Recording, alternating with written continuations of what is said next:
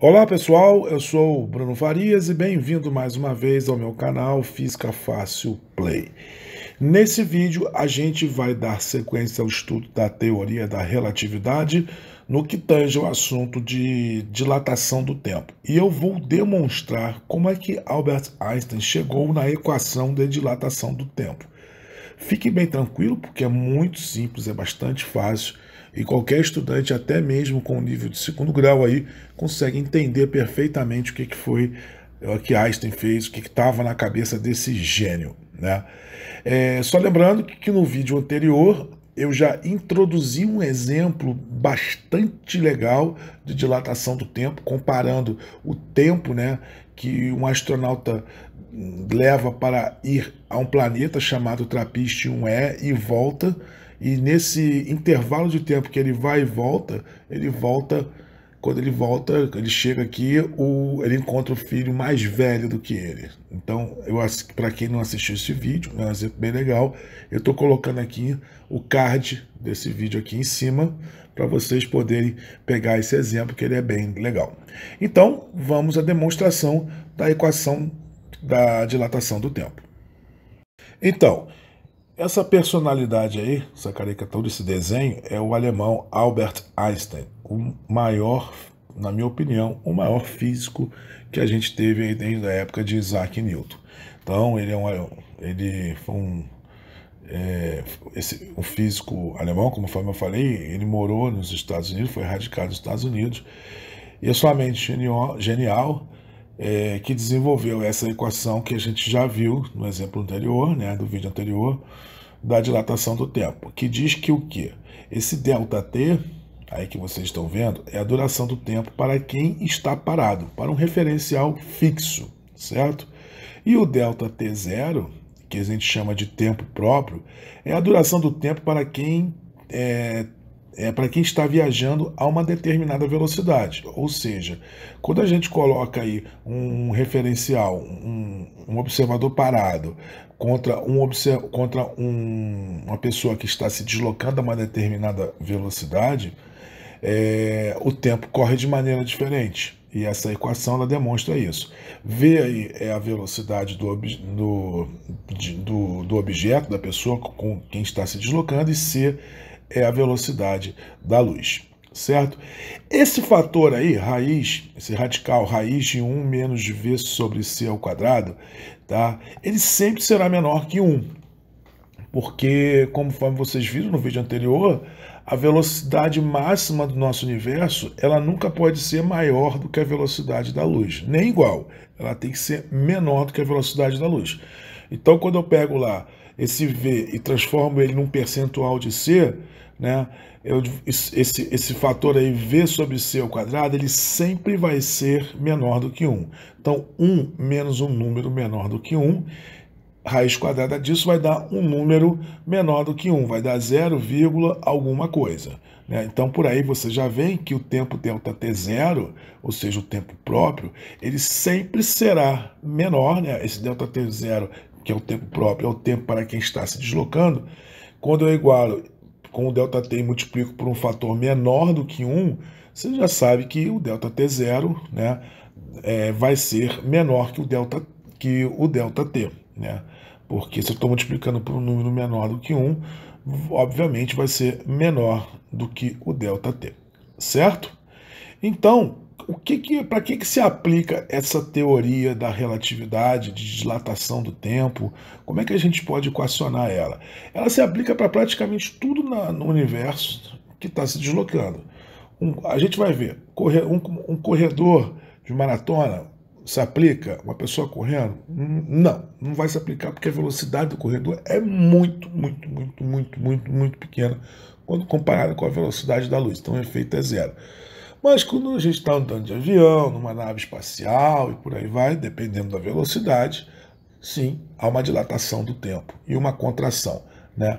Ou seja, quem está em movimento, quem está se movimentando, vai sentir o tempo passar mais, mais é, devagar do que para quem está em no referencial fixo parado. O tempo vai passar mais, vai durar mais o tempo.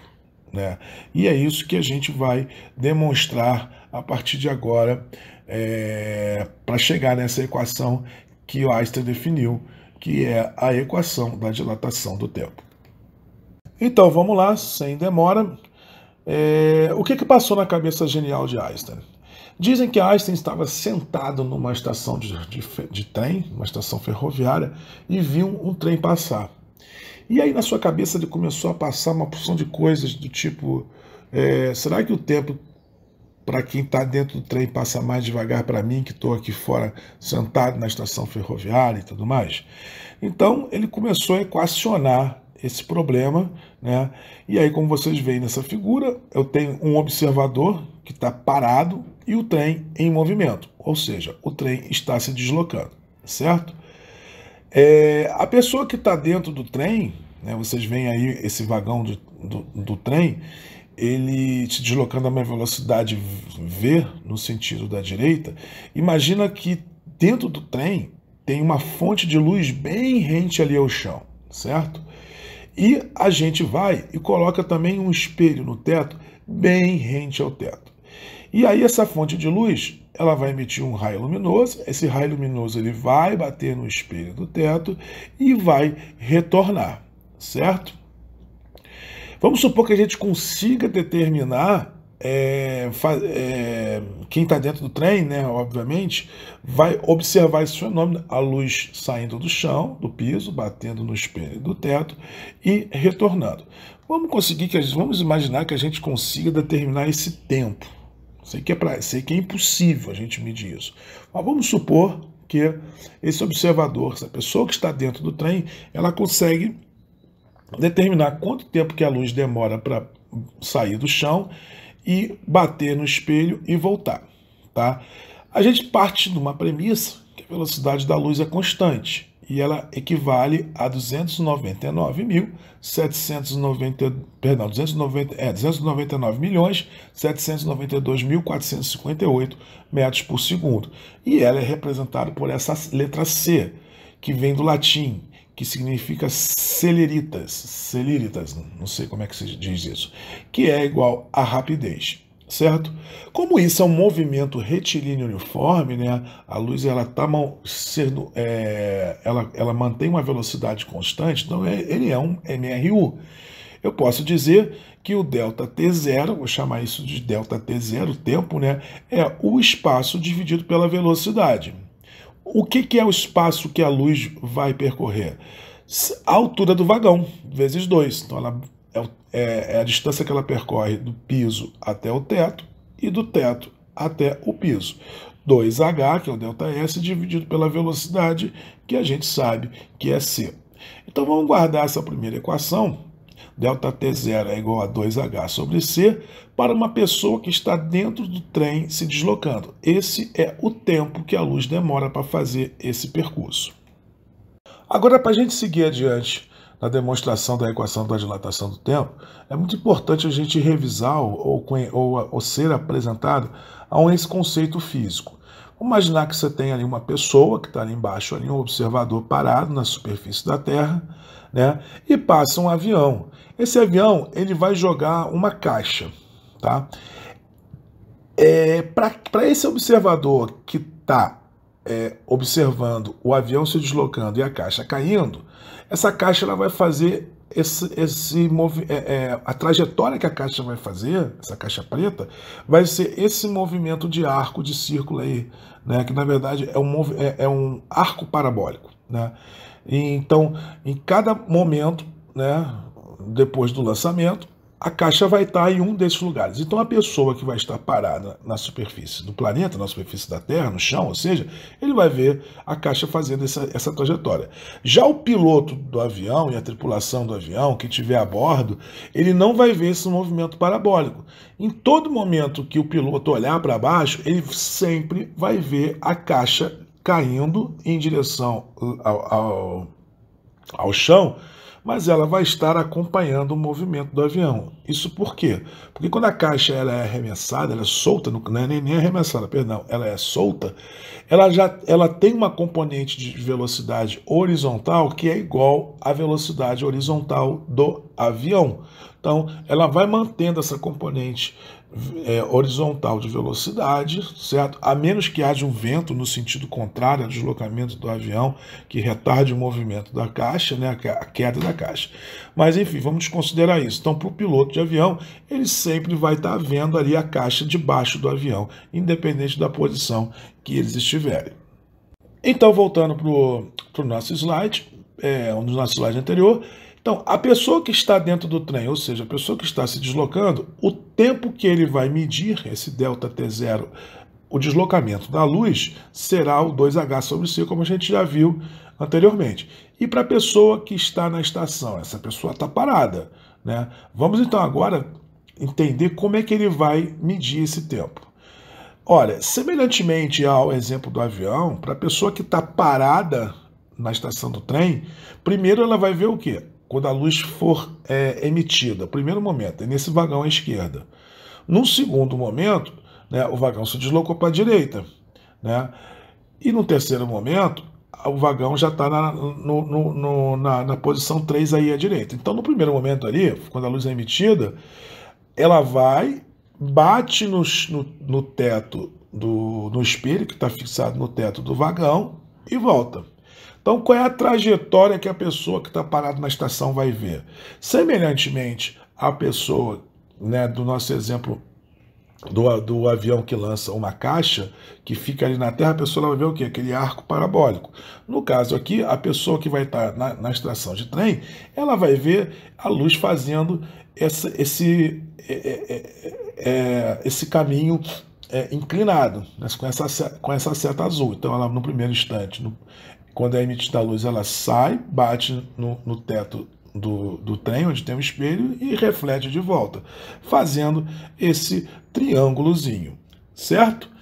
Então, eu vou esquematizar aqui melhor. Vamos supor ali que está o espelho no teto, né? Qual é o desenho que a, a luz vai fazer? Para quem está observando ela da estação, né? parado na estação e o trem se deslocando.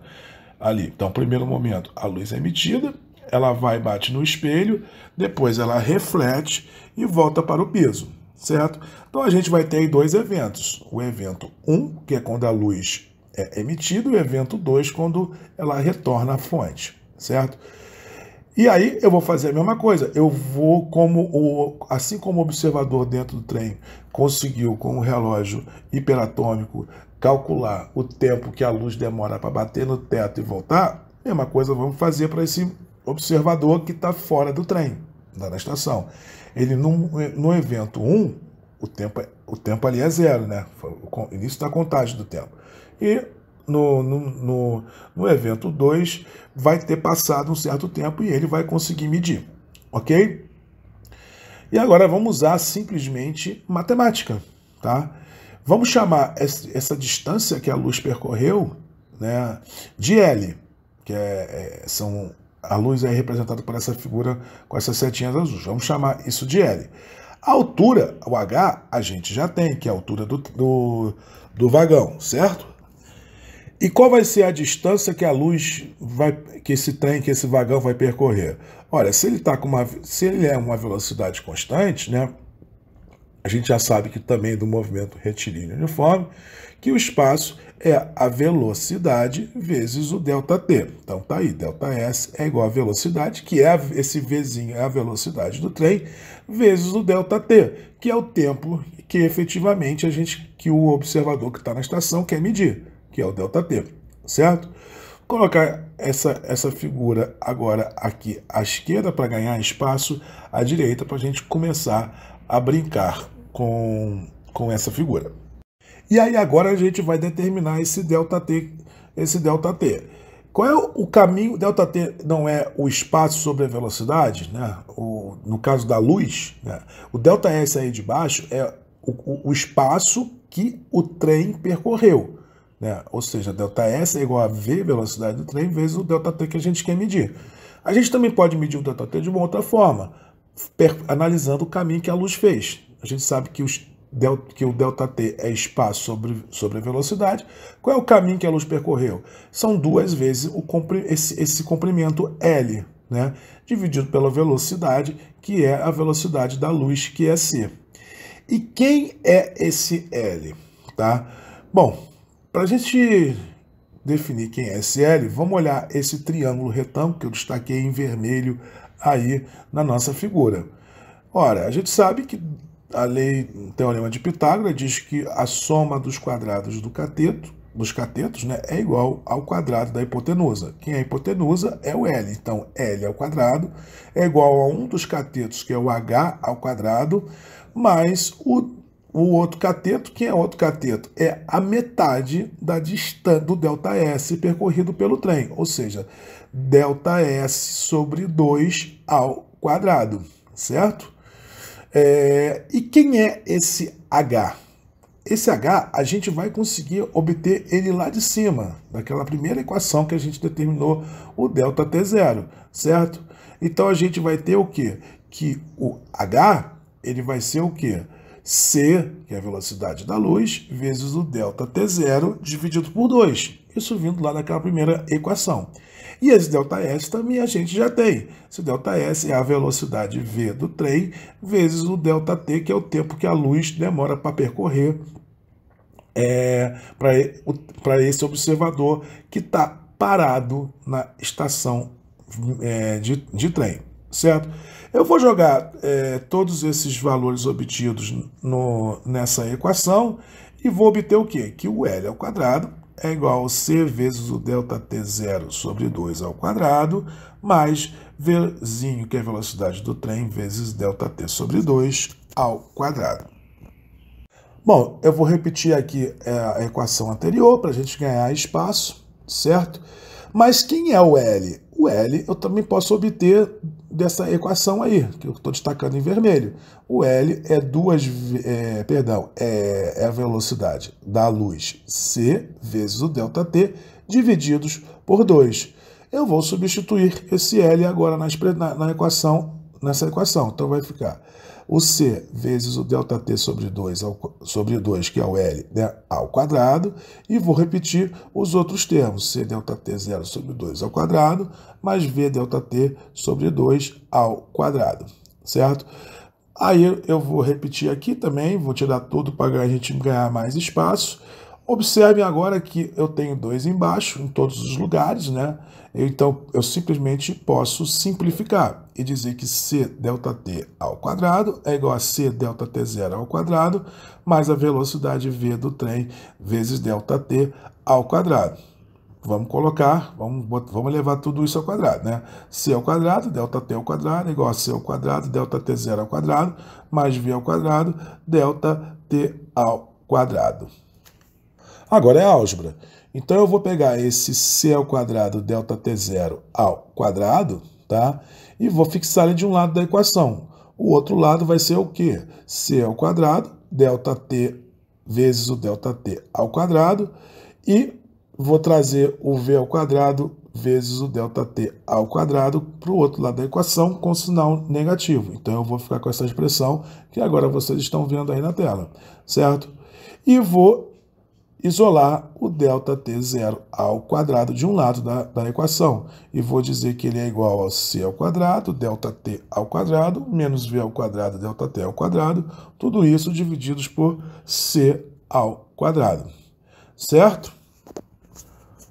Agora eu tenho ΔT ao quadrado no, nos dois termos no termo da direita da equação, então eu posso botar o ΔT ao quadrado e vou ter o quê? ΔT0 ao quadrado é igual a ΔT ao quadrado, abre parênteses, né? multiplica, né? abre parênteses, C ao quadrado menos V ao quadrado sobre C ao quadrado. Vamos, vamos melhorar esse C ao quadrado menos V ao quadrado sobre C ao quadrado? A gente tem uma forma de melhorar ele. Tá? Eu vou dividir né, por c ao quadrado em cima e c ao quadrado embaixo. Fazendo isso, eu posso, na parte do numerador da fração, ou seja, a parte de cima, é, abrir dessa forma, c ao quadrado sobre c ao quadrado, c ao quadrado dividido por c ao quadrado, menos v ao quadrado dividido por c ao quadrado, isso é a parte do numerador, e na parte do denominador ali eu mantenho c ao quadrado dividido por c ao quadrado. Com isso, eu vou encontrar o quê? 1 menos v ao quadrado sobre c ao quadrado dividido por 1, que nada mais é do que 1 menos v ao quadrado sobre c ao quadrado. Então, essa expressão aí c ao quadrado menos v ao quadrado divididos por c ao quadrado, ela é equivalente, ou seja, ela é a mesma coisa do que 1 menos v ao quadrado sobre c ao quadrado. E aí eu vou jogar esse valor na expressão. Então, ΔT0 ao quadrado é igual a ΔT ao quadrado vezes o quê? 1 menos v ao quadrado sobre v ao sobre c ao quadrado. Agora vamos tirar esses quadrados aí da equação. Para tirar os quadrados, eu simplesmente tiro a raiz quadrada tanto do lado esquerdo quanto do lado direito. Então, a raiz quadrada de ΔT0 ao quadrado é igual a raiz quadrada de ΔT ao quadrado vezes 1 menos v ao quadrado sobre c ao quadrado. Do lado esquerdo da equação, a raiz quadrada de um número elevado ao quadrado vai dar o quê? o mesmo número, vai dar o número, né? Ou seja, ΔT zero, mesma coisa para o ΔT é, que está elevado ao quadrado, vai ficar ΔT vezes o quê? A raiz de 1 menos v ao quadrado sobre c ao quadrado. Bom, feito isso, está aí demonstrado a nossa equação da dilatação do tempo desenvolvida por Einstein. E aí você pode falar assim: ah, isso é muito simples. Não, realmente a demonstração, como ele chegou na equação, é muito simples. Agora, difícil, complicado é pensar como ele pensou para chegar nisso daí. Olha quanto que ele teve que dar a volta, quebrar paradigma, quebrar preconceito para chegar nisso daí. Então, é por isso que Einstein é um gênio. É uma pena que a academia não considerou Einstein é, dessa forma, a teoria da relatividade nunca premiou Einstein com o prêmio Nobel de Física por conta da teoria da relatividade. Tá? Einstein ganhou o prêmio Nobel de Física por um outro efeito, o efeito fotoelétrico, que é, não tem nada a ver com a relatividade, é mais relacionado à mecânica quântica. Mas eu, Bruno, acredito, vejo, entendo que a teoria da relatividade é muito, mas muito mais fantástica do, do, efeito do que o efeito fotoelétrico que fez com que Einstein ganhasse o prêmio Nobel certo? Bom, e agora a gente pode se perguntar, pode calcular o quanto que o tempo ele passa mais devagar para quem se está se deslocando, seja ele um corredor, seja ele um, uma pessoa ou um piloto de avião dentro de um avião ou dentro viajando dentro de uma nave espacial. Isso é, vocês podem ver aí que realmente o, o tempo para quem está, é, pelo esse videozinho, né, o tempo para quem está parado, ele é maior do que o tempo para quem está se deslocando. E aí, para a gente finalizar esse vídeo, vamos colocar agora aqui uma análise quantitativa é, de quatro situações né, de velocidade, para ver o quanto que a diferença de tempo se manifesta quando a gente compara pessoas em movimento com pessoas que estão paradas em um referencial fixo. Eu não vou colocar aqui as contas, como chegamos nisso. Para isso eu tenho o vídeo anterior que eu fiz, né, que é o exemplo do astronauta do filho, e eu vou colocar aqui ainda no canal, próximo vídeo, alguns exercícios de como se calcula a dilatação do tempo.